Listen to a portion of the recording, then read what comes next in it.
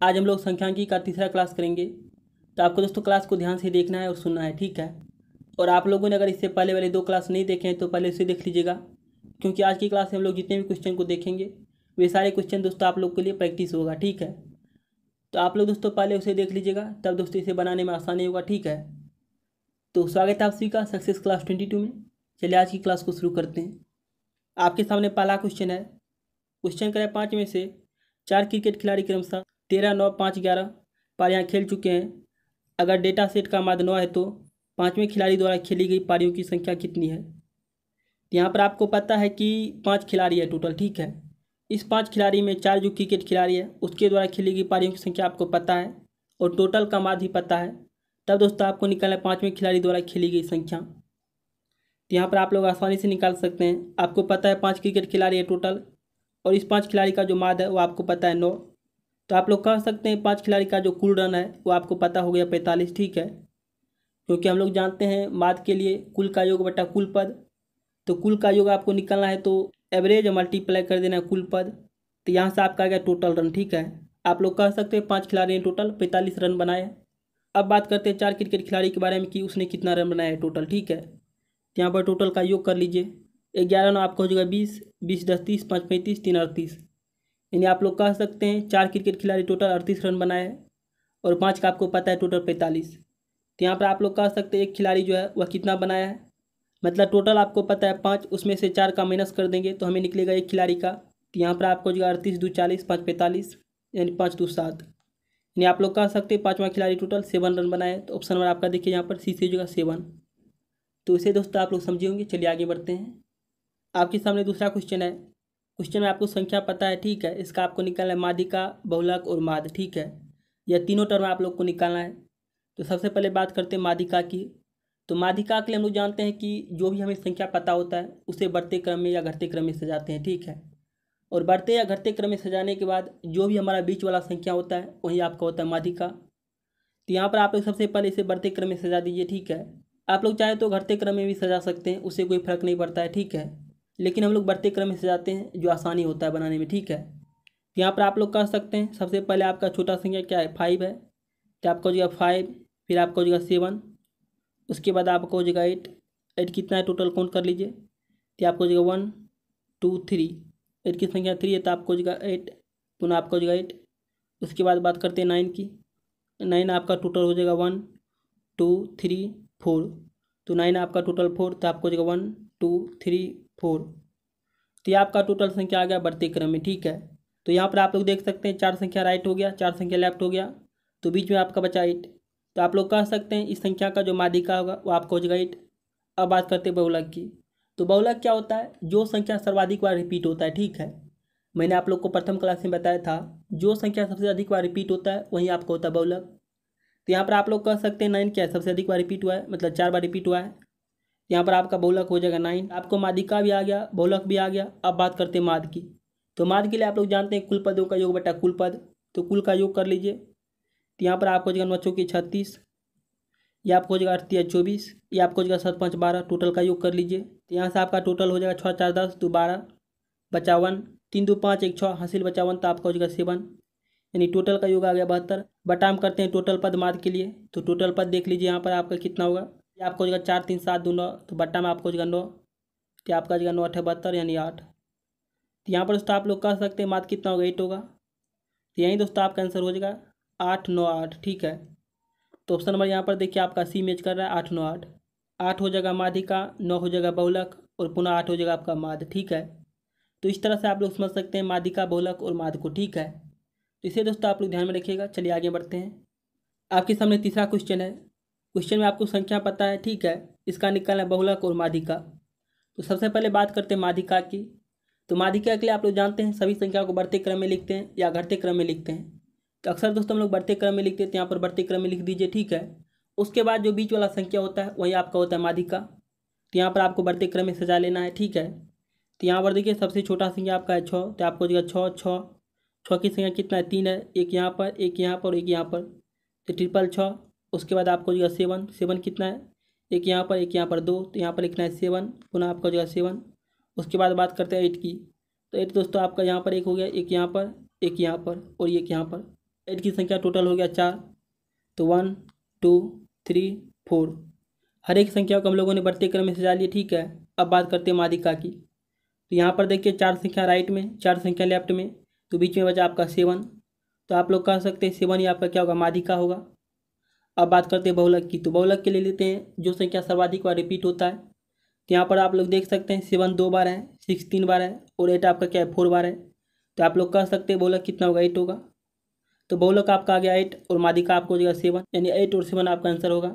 तो option number यहाँ पर देखिए, आपका सी मैच कर रहा है एट और सेवन तो इसे भी दोस्तों आप लोग समझे होंगे। चलिए आगे बढ़ते हैं। आपके सामने चौथा क्वेश्चन है। क्वेश्चन में आपको संख्या पता है, ठीक है। इसका आपको निकलना है रेंज बहुलक, मादिका, ठीक है। यहाँ पर आपको तीन टर्म निकालना है रेंज बहुलक और माधिका तो आप लोग जानते हैं सबसे पहले रेंज के बारे में कि रेंज यानी परिसर निकालने के लिए हम लोग करते हैं सबसे बड़ा संख्या माइनस सबसे छोटा संख्या मतलब उच्चतम मान माइनस न्यूनतम मान। तो यहाँ पर देखिए उच्चतम मान आपको पता है, यहाँ पर देख लीजिए। सबसे उच्चतम मान जो है वो आपका इक्कीस तो यहाँ पर आपको हो जाएगा इक्कीस। माइनस हो जाएगा सबसे छोटा तो सबसे छोटा यहाँ पर देखिए आपका हो जाएगा तो सबसे छोटा आपका हो जाएगा बारह। तो बारह, आठ, बीस, एक, इक्कीस, यानी आपको हो जाएगा नौ। तो आप लोग कह सकते हैं इस क्वेश्चन का जो रेंज होगा, यानी परिसर जो होगा, वो आपको हो जाएगा नाइन ठीक है? और नाइन दोस्तों मात्र आपका ऑप्शन नंबर ए में है। तो आप लोग कह सकते ऑप्शन नंबर ए ही क्या होगा, आपका सही होगा। मतलब क्वेश्चन का जो रेंज है वह क्या है नाइन है? और क्वेश्चन का बोलक आप लोग कह सकते तेरह होगा। और क्वेश्चन का जो मादिका है, वो आप लोग कह सकते चौदह होगा, ठीक है? क्योंकि एकमात्र ऑप्शन नंबर ए है, जिसमें क्या है? रेंज नौ है। तो आप लोग कह सकते ऑप्शन नंबर ए ही आपका क्या होगा, सही होगा। तो इसे भी दोस्तों आप लोग समझे होंगे। चलिए आगे बढ़ते हैं। आपके सामने पाँचवा क्वेश्चन है। क्वेश्चन में आपको पता है, एक बंटन का माद पंद्रह और मानक विचलन पाँच, ठीक है? तो आपको निकलना है विचलन गुणांक। एक बंटन का जो माद है, वो आपको पता है पंद्रह और मानक विचलन जो आपको पता है पाँच। तब आपको निकालना है विचलन गुणांक। विचलन गुणांक निकालने के लिए हम लोग दूसरे क्लास में सीखे थे। मानक विचलन बटा में करते हैं माद माद आपको पता है पंद्रह, अब मल्टीप्लाई कर देना हंड्रेड से, ठीक है? मानक विचलन बटा माद मल्टीप्लाई करते हैं हंड्रेड से, और जो आपको प्राप्त होता है, वहीं आपको होता है विचलन गुणांक यहाँ से आपका जगह पाँच दिया पंद्रह, यानी तीन। तो आपको जो एक सौ बटा थ्री तो यहाँ से आपका जगह तैंतीस या निन्यानवे। यानी तैंतीस दशमलव थ्री थ्री प्रतिशत आपको हो जाएगा विचरण गुणांक ठीक है? तो ऑप्शन नंबर यहाँ पर देखिए, आपका सी मैच कर रहा है, ठीक है? तो इसे भी दोस्तों आप लोग समझेंगे चलिए आगे बढ़ते हैं। आपके सामने छठा क्वेश्चन है। क्वेश्चन करें बीस परीक्षणों का माद उन्नीस है। एक और परीक्षण शामिल किया जाता है, और नया माद बीस हो जाता है। तो इक्कीसवां परीक्षण क्या है? यहाँ पर आपको पता है बीस परीक्षण का जो माद है, वो आपको पता है उन्नीस, ठीक है? तो आप लोग कह सकते हैं बीस परीक्षण का जो कुल योग होगा, वो आपको हो जाएगा उन्नीस दूना अड़तीस, यानी तीन सौ अस्सी। आप लोग आसानी से कह सकते हैं बीस परीक्षण का जो कुल योग होगा, वो आपको हो जाएगा तीन सौ अस्सी। अब बात करते हैं एक नया परीक्षण की, ठीक है? तो पहले से बीस था और एक नया आ जाता है तो आप लोग कह सकते हो जाएगा इक्कीस। एक नया परीक्षण शामिल होने के कारण ये हो जाता है इक्कीस, ठीक है? पहले से बीस था, एक नया आएगा तो हो जाएगा इक्कीस। और इस नया परीक्षण के कारण माद हो जाता है बीस, ठीक है। तो यहाँ पर आपको लिखना है बीस। तो आपको जो इक्कीस दो बयालीस यानी चार सौ बीस। तो यहाँ पर आप लोग कह सकते हैं पहले से बीस था, अब हो गया इक्कीस, यानी एक बढ़ा है। और एक के कारण यहाँ पर कितना बढ़ा है, आप लोग अंतर कर लीजिए। तो यहाँ पर आपको जो है तीन सौ अस्सी, बीस हो जाएगा चार सौ और यहाँ पर आपका बीस। तो बीस बीस आपका हो जाएगा चालीस। या आप लोग कह सकते हैं एक परीक्षण का जो मान है वह कितना है, चालीस है। तो ऑप्शन नंबर यहाँ पर देखिए आपका अस्सी से हो जाएगा चालीस। यानी इक्कीसवां परीक्षण का जो मान है, वो आपको पता हो गया, चालीस, ठीक है? तो इसे दोस्तों आप लोग समझे होंगे। चलिए आगे बढ़ते हैं, ठीक है? आपके सामने सातवां क्वेश्चन है। क्वेश्चन करें, पैंतीस परीक्षणों के परिणामों का औसत इक्कीस है। पहले सत्रह परिणामों का औसत उन्नीस है तथा अंतिम सत्रह का औसत बाईस है। तो अठारहवां परीक्षण का मान क्या है? आपको पता है कि पैंतीस परीक्षण का जो औसत है, वह कितना इक्कीस है? तो इसका योग कर लीजिए, टोटल कितना आता है? तो इसके लिए करते हैं मल्टीप्लाई। तो यहाँ से आपका जगह पैंतीस। पुनः हो जाएगा पैंतीस दुना सत्तर। टोटल का योग कर लीजिए तो आपको हो जाएगा फाइव ये आपका थ्री और ये आपका सेवन यानी पैंतीस परीक्षण का कुल योग आपको पता हो गया सात सौ पैंतीस। पुनः आगे क्वेश्चन करें, सत्रह परिणामों का जो औसत है, वो आपको पता है उन्नीस, ठीक है? तो यहाँ पर भी दोस्तों आप लोग को कुल का योग निकाल लेना है, ठीक है? सत्रह परिणामों का आपको औसत पता है उन्नीस और आप लोग जानते हैं कुल का योग क्या होता है। मतलब माद के लिए हम लोग जानते हैं कुल का योग बेटा कुल पद। तो कुल का योग निकालना है तो पद में आपको मल्टीप्लाई कर देना औसत से। तो पद आपको पता है टोटल सत्रह और औसत पता है उन्नीस। तो यहाँ पर सत्रह मल्टीप्लाई कर देना उन्नीस। तो जब दोस्तों इसे मल्टीप्लाई कीजिएगा तो आपका जगह तीन सौ तेईस, ठीक है? आप लोग कह सकते हैं सत्रह परिणामों का जो कुल योग होगा वो आपको हो जाएगा तीन सौ तेईस। पुनः आगे क्वेश्चन करें, अंतिम सत्रह का औसत कितना है? बाईस है। अंतिम सत्रह का औसत आपको पता है बाईस, ठीक है? सत्रह को जब बाईस से मल्टीप्लाई कीजिएगा तो आपका जाएगा तीन सौ चौहत्तर, ठीक है? यहाँ पर आप लोग कह सकते हैं अंतिम सत्रह का जो कुल योग होगा वो आपको जाएगा तीन सौ चौहत्तर। तो सत्रह प्लस सत्रह आपको जाएगा चौंतीस, ठीक है? चौंतीस परिणामों का कुल योग आप लोग निकाल सकते हैं। यहाँ पर टोटल का योग कर लीजिए। यानी टोटल आपका आ गया चौंतीस, इसका योग कर लीजिए तो आपको जो है चार, तीन, सात।